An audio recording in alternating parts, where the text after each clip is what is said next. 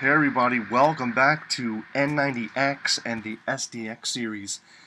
I'm going to show you a new way to upgrade your SDX if you just got it from the factory. This is a 8400 SDX. It comes from the factory 10.5 60.7. That's the version. And according to Citrix documentation, you can now upgrade directly from 10.5 to 12.0. And the way to do that, you just have to make sure that the service management, the service virtual machine is 10.5 build 57 or higher. As you can see, whoops, as you can see here, we are 10.5 build 60.7, so definitely we are good to go. Now, you need to go to Citrix website I'm in the process of downloading the build right now. But if you can't find it, just search for the SDX bundle here in downloads. Search for SDX bundle. And this doesn't have to be selected, uh, the Citrix ADC. Just search for SDX bundle and you'll get a few choices. I decided to go with the 12.1, which was released April 1st, 2019 and here's the file. When you click on it, you'll get that screen which I just showed, just had before this one here. And when you click on the accept here, it'll start downloading. As you can see here, it's downloading right now. All right. So it'll take a little while. It says about six more minutes. It's uh, 1.61 gigabytes, this particular file. And we'll pause right now and pick up when the file has been delivered.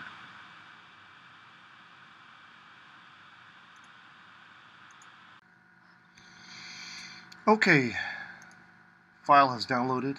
Next step to do is to can close it. Next step to do is to upload. Go to Management Services. Well, it logged out. Go back to Management Services and Management Services. Management Services uh, images. We're going to upload and browse where that file single bundle. It's a tar file. Uh oh. Uh-oh. There's a problem. There's a problem right there.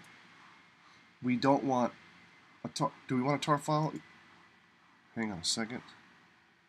Let's see. We want the TGZ file, which was unfortunately put in trash. So let's grab it,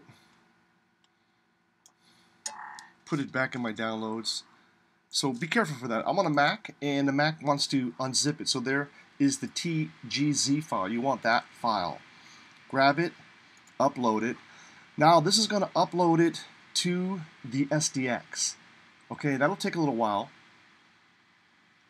Once it's up there, we can move on to the next step. So let me pause this video.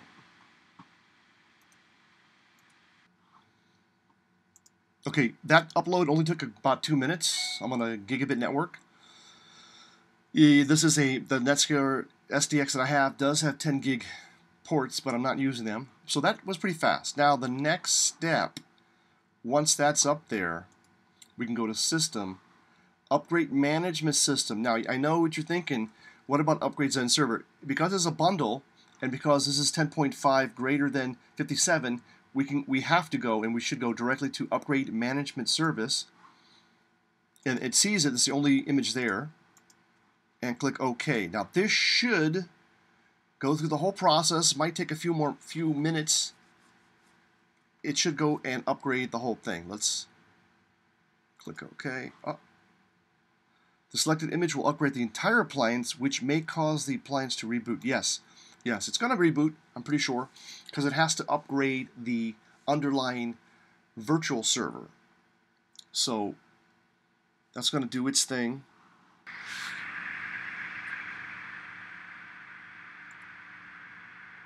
Okay, we're the upgrade finished.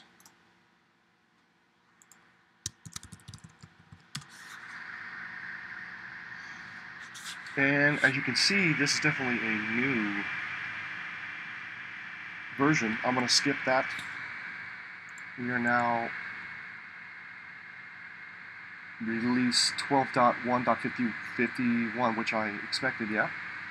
Uh, if we go to configuration, hypervisor information 6.1, yepity yep.